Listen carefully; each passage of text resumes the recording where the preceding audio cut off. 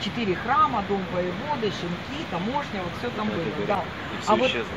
И все исчезло, все было разрушено в 17 столетии войском Богдана Хмельницкого. А вот там, где люди стоят на маленькой водке, ну там страшное место, там казнили преступников.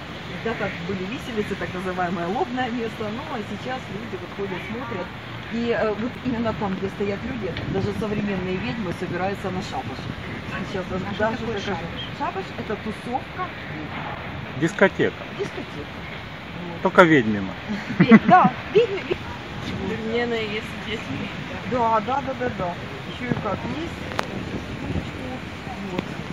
Той горе. Вот так. Ага, причем не только девушки. Ой, мужчины можно смотреть. А как это не летает? Ну, пару слов о киевских ведьмах скажу, кто это такие.